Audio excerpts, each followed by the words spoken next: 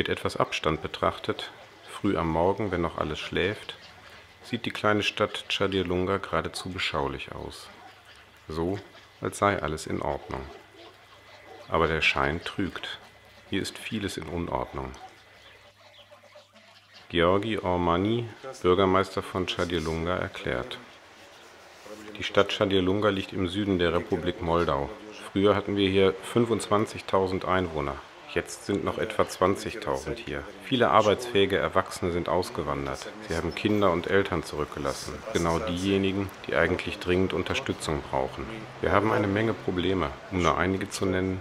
Junge Menschen haben keine Möglichkeiten zu arbeiten. Die Wasserversorgung der Stadt ist desolat. Wir müssen Kindergärten und Schulen dringend renovieren. Womöglich wollen wir gemeinsam mit Wort und Tat daran arbeiten. Schulen, Kindergärten oder das marode städtische Krankenhaus. All diese Dinge sind nur ein kleiner Teil der Probleme. Praktisch überall, wo man hinschaut, wird Hilfe benötigt. Das christliche Hilfswerk Wort und Tat ist seit 2006 in der Stadt. Es kümmert sich vor allem um die Menschen, die in dem sogenannten Armenhaus Europas so gut wie keine Unterstützung vom Staat erhalten. In der medizinisch-diakonischen Station Gloria werden jedes Jahr Hunderte von Patienten kostenlos untersucht und behandelt. Und diejenigen, die den Weg zu dem ehemaligen Bankgebäude nicht mehr schaffen, werden zu Hause besucht. Ihnen wird etwas zu essen gebracht und um ihre Gesundheit kümmert sich Krankenschwester Olga.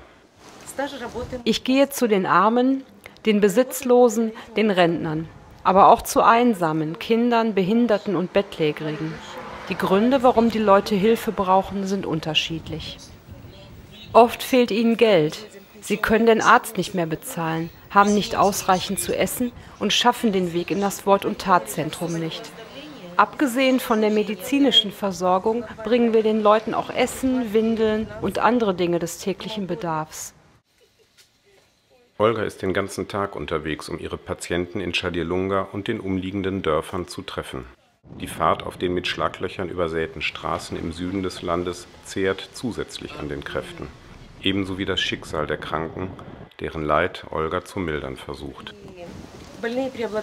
Meine Patienten haben ganz unterschiedliche Krankheiten.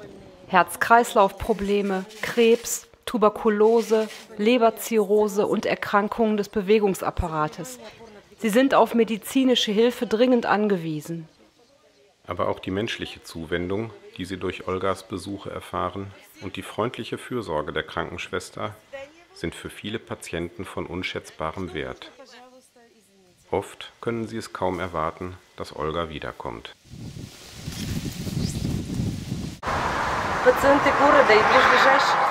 Die Patienten aus der Stadt und aus den umliegenden Dörfern sind voller Dankbarkeit für die Hilfe, die sie von Wort und Tat und dem Zentrum Gloria erhalten. Und wir Helfer sehen mit Tränen der Freude in den Augen, wie sehr die Menschen unsere Arbeit schätzen und wie freudig sie uns jedes Mal empfangen.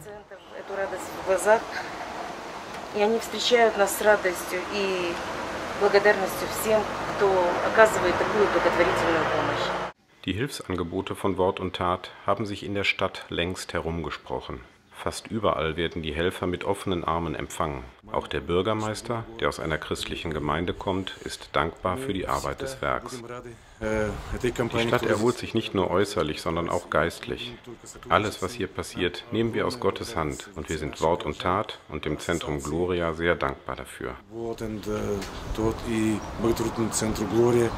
Ну и мы хотели бы, чтобы, конечно, у нас были всегда вот такие партнерские отношения.